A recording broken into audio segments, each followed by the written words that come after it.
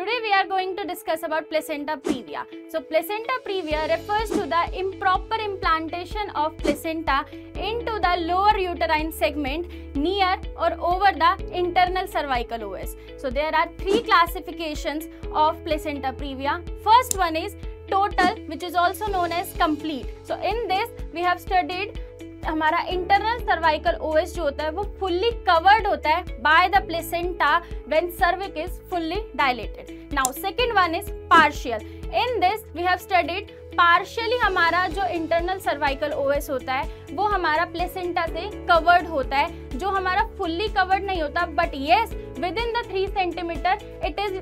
covered by the placenta into the lower uterine segment now third one is